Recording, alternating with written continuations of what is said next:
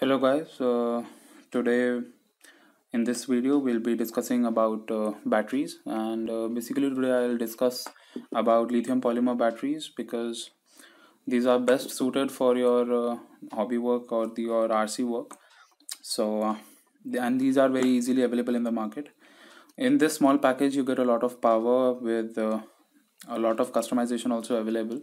So you can see that there are a lot of numbers written on this battery so i'll just tell you what all these numbers mean to you and uh, what all things you should consider before buying uh, such battery. So let's continue on this. So first and foremost uh, you'll be seeing this biggest number which uh, in this particular batteries it says 2200 mAh.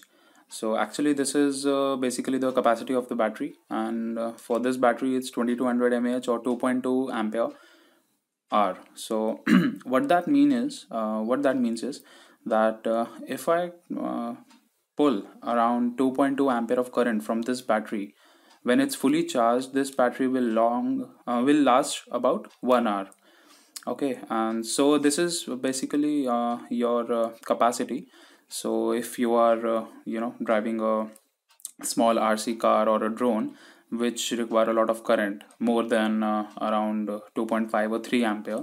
So the this particular 2200 mAh battery would last around uh, 45 minutes or even 30 minutes. So so now you know that this is your capacity. So the first point is your capacity.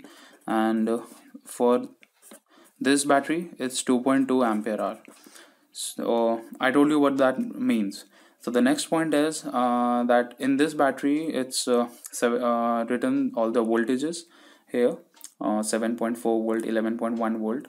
Actually in some batteries you will find uh, that there is no voltage written or uh, there's also written cell number. So sometimes it's 1s 2s 3s and go on. It go, goes on like this. What that really means is this number shows that what is the cell number amount of cell in your uh, battery. Because these lithium polymer batteries they are not uh, based on the voltage. Uh, like for example in your lead um, the lead acid batteries are sold on the um, basis of how much voltage you want. It's a 9 volt battery a 12 volt battery or a 36 volt battery.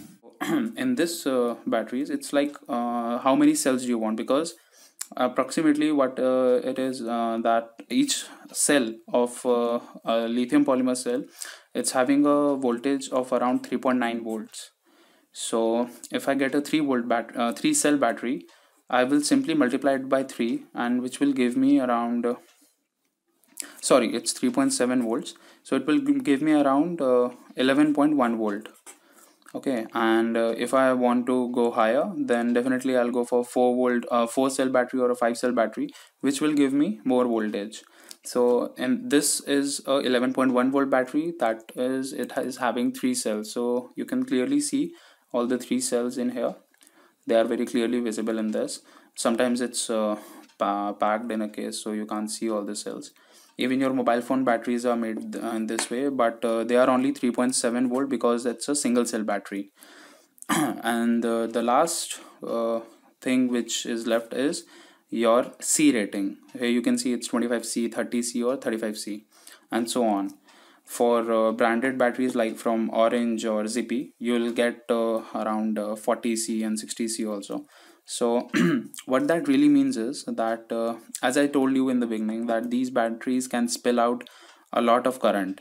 So as this is a 30C battery, but uh, you're having 45C, uh, 60C in case of Orange and Zippy so that number uh, actually shows you that how much current you can pull out of this battery without destroying it.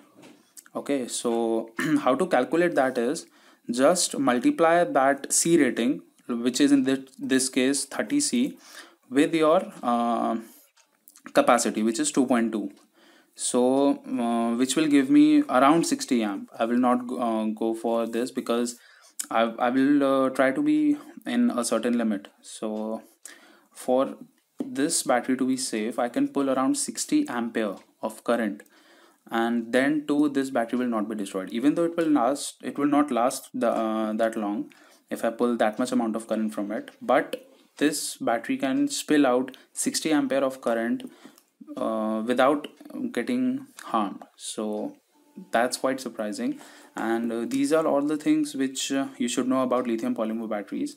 And uh, one more thing that while using these batteries be very careful with them. Try not to puncture these batteries or drop them or uh, try to unpack these batteries because these are quite dangerous.